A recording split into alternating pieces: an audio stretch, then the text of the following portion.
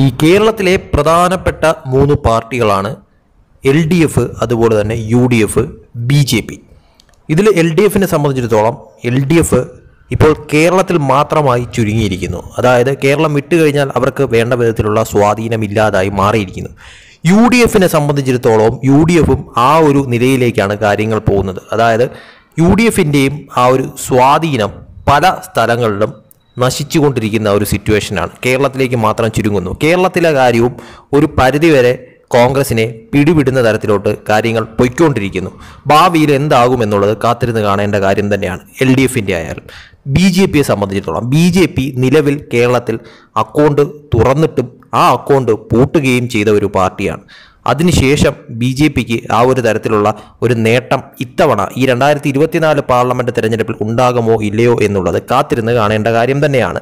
B J P ഇവിടെ വളരാതിരിക്കാനും B J പിക്ക് ഇവിടെ seat കിട്ടാതിരിക്കാനും ഈ പറയുന്ന കോൺഗ്രസും അതുപോലെ തന്നെ എൽ ഡി എഫും വളരെ നല്ല രീതിയിൽ പരിശ്രമിക്കുന്നുണ്ട് എന്നതും യാഥാർത്ഥ്യമായിട്ടുള്ള ഒരു കാര്യം തന്നെയാണ്. പക്ഷേ അതിനെയെല്ലാം മറികടന്നുകൊണ്ട് ബി ജെ പിക്ക് ഇവിടെ ഒരു മാറ്റമുണ്ടാക്കാനായിട്ടും അതുപോലെ തന്നെ ഇവിടെ ഒരു പ്രധാനപ്പെട്ട പ്രതിപക്ഷവും ഭരണം പിടിക്കാനുമായിട്ടുള്ള ഒരു വലിയ തോതിലുള്ള ഒരു ശക്തിയായി മാറാനായിട്ട് ബി ജെ പിക്ക് വരും നാളുകളിൽ ഇവിടെ സാധിക്കുമോ ഇല്ലയോ എന്നുള്ളത് തന്നെയാണ് ഒരു പ്രധാന ചോദ്യമെന്ന് പറയുന്നത്. ശരിക്കും അതിനുള്ള ഉത്തരമെന്ന് പറയുന്നത് ബി ജെ പി ശരിക്കും അതിനുള്ള മാസ്റ്റർ പ്ലാനിങ്ങിൽ തന്നെയാണെന്ന കാര്യത്തിൽ സംശയമില്ല. അത് കേരള ബി ജെ പി ഘടകത്തിന്റെ അല്ല. കേന്ദ്രമാണ് നേരിട്ട് പല കാര്യങ്ങളും ഇനി അങ്ങോട്ട് ചെയ്യാനായി പോകുന്നത്.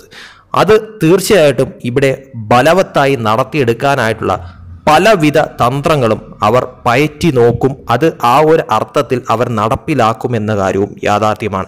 അതിനൊരു ട്രയൽ മാത്രമാണ് ഈ പറയുന്ന ഇത്തവണത്തെ രണ്ടായിരത്തി ഇരുപത്തിനാല് പാർലമെന്റ് ഇലക്ഷൻ എന്ന് പറയുന്നത്.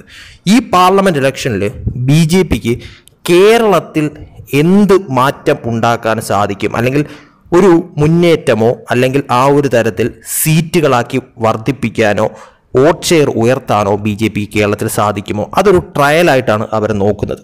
ആ പരീക്ഷണം എത്രത്തോളം സക്സസ് ആവും എന്നുള്ളത് അവർ തന്നെ നിരീക്ഷിക്കും. പക്ഷേ അവരുടെ പ്രധാന ലക്ഷ്യമെന്ന് പറയുന്നത് വരാൻ പോകുന്ന നിയമസഭാ തെരഞ്ഞെടുപ്പ് തന്നെയാണെന്ന കാര്യത്തിൽ യാതൊരു സംശയമില്ല കാരണം കേരളത്തിൽ ശക്തി പ്രാപിക്കണം എന്നുള്ളത് തന്നെയാണ് അവരുടെ ലക്ഷ്യം. അതിനൊരു പരീക്ഷണമാണ് ഈ പറയുന്ന പാർലമെന്റ് തെരഞ്ഞെടുപ്പ് ഇത്തവണ കേരളത്തിൽ നടക്കുന്നത് കാരണം ഇന്ത്യ ഒട്ടാകെ ആ ഒരു തരത്തിൽ ബി ജെ പി തന്നെയാണ് അധികാരത്തിൽ വരുന്നത്. അവർക്കിപ്പോൾ കേരളത്തിൽ നിന്നും സീറ്റുകൾ കിട്ടിയില്ലെങ്കിലും ഇന്ത്യ ഭരിക്കാനും അവർക്ക് അവരുടേതായിട്ടുള്ള കാര്യങ്ങൾ കൊണ്ടുവരാനും ബില്ലുകൾ പാസ്സാക്കാനും ഒന്നും ഒരു എം പോലും കേരളത്തിൽ നിന്ന് ആവശ്യമില്ല എന്നുള്ളത് കഴിഞ്ഞ പത്ത് കൊല്ലം കൊണ്ട് കാണാൻ പറ്റുന്ന ഒരു കാര്യം തന്നെയാണ്.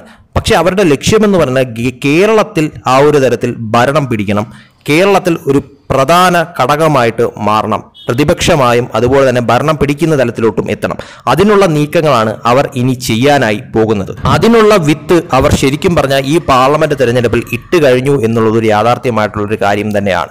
കാരണം കേരളത്തെ സംബന്ധിച്ചിടത്തോളം കേരളത്തിൽ ബി ജെ പിക്ക് സീറ്റ് ഇല്ലെങ്കിൽ പോലും ബി ജെ പി കേരളത്തിൽ ഒരു പ്രധാന പാർട്ടിയായിട്ട് വളർന്നുകൊണ്ടിരിക്കുകയാണെന്ന കാര്യത്തിൽ യാതൊരു സംശയവുമില്ല. കാരണം അവരുടെ വോട്ട് ഷെയർ എടുത്താൽ തന്നെയും അവർക്ക് കേരളത്തിൽ പല സീറ്റുകളിലായിട്ടുള്ള വോട്ടിന്റെ ഭൂരിപക്ഷം നോക്കുമ്പോഴത്തേക്കും അറിയാം കേരളത്തിൽ ബി ജെ പി എത്രത്തോളം ശക്തിപ്പെട്ടു വരുന്നു എന്നുള്ളത്. അതൊരിക്കലും കണ്ടില്ല എന്ന് നടിക്കാൻ പറ്റാത്തൊരു കാര്യം തന്നെയാണ്. കാരണം ബി ജെ പി കേരളത്തിൽ വളരുന്നുണ്ട്. പക്ഷേ ആ വളർച്ച ആ ഒരു തരത്തിൽ ഒരു സീറ്റാക്കി മാറ്റാനായിട്ടുള്ള ലെവലിലേക്കും അതുപോലെ തന്നെ ഇവിടെ ഒരു വലിയ ശക്തിയായി മാറാനും പാകത്തിലോട്ട് എത്തിക്കാനാണ് ബി ജെ പിയുടെ നീക്കമെന്ന് പറയുന്നത്. അതിന് തടയിടാൻ നോക്കുന്ന കോൺഗ്രസിനെയും എൽ ഡി എഫിനെയും ആ ഒരു തരത്തിൽ മറികടന്നുകൊണ്ടുള്ള ഒരു നേട്ടമാണ് ബി ജെ പി ഇവിടെ ലക്ഷ്യമിടുന്നത്. അത് തീർച്ചയായിട്ടും ഈ പാർലമെന്റ് തെരഞ്ഞെടുപ്പിൽ തന്നെ അതിന് ആ ഒരു തരത്തിലുള്ള നീക്കങ്ങൾ കേന്ദ്രം തന്നെ നേരിട്ട് തുടങ്ങിയിട്ടുണ്ട് എന്ന കാര്യം യാഥാർത്ഥ്യമാണ്. അതിൽ തന്നെ പ്രധാന ഘടകം എന്ന് പറയുന്നത് കേരളത്തെ സംബന്ധിച്ചിടത്തോളം കേരളത്തിൽ ബി ജെ പിക്ക് ഭൂരിഭാഗം കിട്ടുന്ന വോട്ടുകൾ എന്ന് പറയുന്നത് ഹിന്ദുക്കളുടെ ആ ഒരു വോട്ട് തന്നെയാണ്. ഹിന്ദുക്കളുടെ വോട്ട് മാത്രം ലക്ഷ്യം വെച്ചുകൊണ്ടല്ല കേരളത്തിൽ ബി ജെ പി ഇനി മുന്നോട്ട് പോകാൻ പോകുന്നത്. അതായത് ഹിന്ദുക്കളും അതുപോലെ തന്നെ ക്രൈസ്തവ വോട്ടുകളും ബി ജെ പിയിലേക്ക് എത്തിക്കാനായിട്ടുള്ള ഒരു ഇത് തന്നെയാണ് ഇപ്പോൾ പാർട്ടിക്കുള്ളിൽ നടന്നു വരുന്ന കാര്യങ്ങൾ. അത് കേന്ദ്രം തന്നെ നേരിട്ട് ആ ഒരു തരത്തിൽ ക്രൈസ്തവരുടെ ആ ഒരു പിന്തുണ ബി ജെ പിയിലേക്ക് കൂടുതൽ അടുപ്പിക്കാനായിട്ടുള്ള ശ്രമങ്ങൾ പരമാവധി നടക്കുന്നുണ്ട്. അത് ഒരു പരിധിവരെ വിജയിച്ചിട്ടുണ്ട് എന്നത് ശരിയായിട്ടുള്ള കാര്യമാണ്. അതിന്റെ ബലം എന്താണെന്നുള്ളത് ഈ പാർലമെന്റ് എലക്ഷൻ അവർ നിരീക്ഷിക്കും. ആ ഒരു കേന്ദ്രം തന്നെ നിരീക്ഷിക്കും. അതിൽ എത്രത്തോളം ക്രൈസ്തവരുടെ പിന്തുണ ബി ജെ പിയിലേക്ക് അടുത്തുകൊണ്ടിരിക്കുന്നു എന്നത് ഈ ഒരു പാർലമെന്റ് ഇലക്ഷനോട് കൂടി അതിനൊരു ഉത്തരം കിട്ടും. അത് കഴിഞ്ഞിട്ടായിരിക്കും അവർ ആ ഒരു തരത്തിൽ അഴിച്ചുപണി നടത്താനായിട്ട് പോകുന്നത് കേരളത്തിൽ ബി ജെ പിയിൽ തന്നെ. അതായത് ഇത്തവണ പാർലമെന്റ് ഇലക്ഷനിൽ കേരള ബി ജെ പിക്ക് നേട്ടം ഉണ്ടാക്കാൻ സാധിച്ചാലും സീറ്റുകൾ ഉണ്ടാക്കാൻ സാധിച്ചാലും ഇനി സീറ്റുകൾ കിട്ടിയില്ലെങ്കിലും ആ ഒരു തരത്തിൽ ബി ജെ പിക്കുള്ളിൽ ഒരു അഴിച്ചുപണി കേരള ബി ജെ പിക്കുള്ളിൽ കേന്ദ്രം നടത്തുമെന്ന കാര്യത്തിൽ സംശയമില്ല. അത് ഇനി വരാൻ പോകുന്ന രണ്ടായിരത്തി ഇരുപത്തിയാറിലെ നിയമസഭാ തെരഞ്ഞെടുപ്പിന് മുന്നോടിയായിട്ടുള്ള ഒരു പടപ്പുറപ്പാടാണെന്ന കാര്യത്തിൽ യാതൊരു സംശയവുമില്ല. ഇനി രണ്ട് കൊല്ലമാണുള്ള അതിനു മുന്നേ തന്നെ ബി ജെ പി ഇവിടെ സജ്ജമായി മാറുന്ന തരത്തിലോട്ട് കാര്യങ്ങൾ എത്തിക്കുക. കേരള ബി ജെ പിയിലെ ആ ഒരു അഴിച്ചുപണിയെല്ലാം നടത്തിക്കൊണ്ട് ക്രൈസ്തവ വോട്ടുകളും അതുപോലെ തന്നെ ഹിന്ദു വോട്ടുകൾ അതായത് ഇപ്പോൾ ലഭിക്കുന്ന ഹിന്ദു വോട്ടുകൾ കുറച്ചുകൂടി വർദ്ധിപ്പിക്കാൻ പാകത്തിനുള്ള കാര്യങ്ങളും വിജയസാധ്യതയുള്ള സ്ഥലങ്ങളിൽ അത് സീറ്റാക്കി മാറ്റാൻ പറ്റുന്ന തരത്തിൽ വിജയിച്ചെടുക്കാൻ പറ്റുന്ന തരത്തിലോട്ട് എത്തിക്കാൻ പാകത്തിനുള്ള വോട്ടാക്കി മാറ്റുക തന്നെയാണ് ബി ജെ പിയുടെ ലക്ഷ്യം. അത് ഈ പറയുന്ന എൽ ഡി എഫും യു ഡി എഫിനെയും മറികടന്നുകൊണ്ട് അവരുടെ ലക്ഷ്യം കാണുക എന്നുള്ളത് തന്നെയാണ് അവരുടെ മാസ്റ്റർ പ്ലാൻ എന്ന് പറയുന്നത്. അത് ഈ രണ്ടായിരത്തി ഇരുപത്തി ആറ് ലക്ഷ്യം വെച്ചുകൊണ്ടുമല്ല രണ്ടായിരത്തി ഇരുപത്തി ഒൻപതാണ് അവരുടെ മെയിൻ ലക്ഷ്യം എന്ന് പറയുന്നത്. രണ്ടായിരത്തി ഇരുപത്തി ഒൻപതോടുകൂടി ഇവിടെ ഒരു പ്രധാന പ്രതിപക്ഷമായി മാറാനായിട്ട് ബി ജെ പിക്ക് സാധിക്കണം. അതിനുള്ള നീക്കങ്ങൾ തന്നെയാണ് അവർ ചെയ്തുകൊണ്ടിരിക്കുന്നതും. ഈ കോൺഗ്രസ് ഈ വരുന്ന രണ്ടായിരത്തി ഇരുപത്തി ആറിൽ കേരളത്തിൽ ഭരണത്തിൽ വന്നില്ല. എൽ ഡി എഫ് തന്നെയാണ് വീണ്ടും ഭരണത്തിൽ വരുന്നതെങ്കിൽ ഈ പറയുന്ന കോൺഗ്രസ് കേരളത്തിൽ തകർന്ന് തരിപ്പണമാകുമെന്ന കാര്യത്തിൽ സംശയമില്ല. അത് തന്നെയാണ് ബി ജെ പി ലക്ഷ്യമിടുന്നതും. രണ്ടായിരത്തി ഇരുപത്തൊൻപതോടുകൂടി കോൺഗ്രസ് എന്ന് പറയുന്ന പാർട്ടി കേരളത്തിൽ കോൺഗ്രസിലെ നേതാക്കൾ ഉൾപ്പെടെ സി പി എമ്മിലേക്കും അതുപോലെ തന്നെ ബി ജെ പിയിലേക്കും പോകുന്ന തരത്തിലോട്ട് കാര്യങ്ങൾ എത്തുകയും ബി ജെ പിക്ക് ആ ഒരു തരത്തിൽ ഒരു നേട്ടം കൊയ്യുന്ന ഒരു അളവിലേക്ക് എത്താനും സാധിക്കുമെന്നത് വളരെ വ്യക്തമായിട്ടുള്ള ഒരു ചിത്രമായി നിലനിൽക്കുന്ന ഒരു കാര്യം തന്നെയാണ്.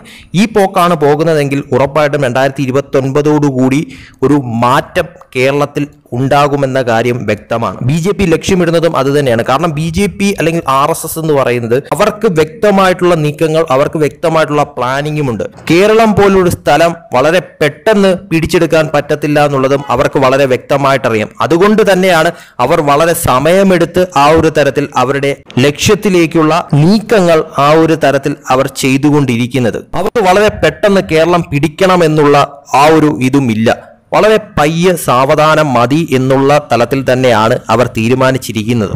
അതിന് കാരണവും ബി ജെ പി ഭരണം കേന്ദ്രത്തിൽ എന്തായാലും ഈ അടുത്ത കാലത്തെങ്ങും മാറത്തില്ല എന്നുള്ളത് ഏത് കൊച്ചു കുട്ടിക്ക് പോലെ അറിയാവുന്ന ഒരു കാര്യം തന്നെയാണ്.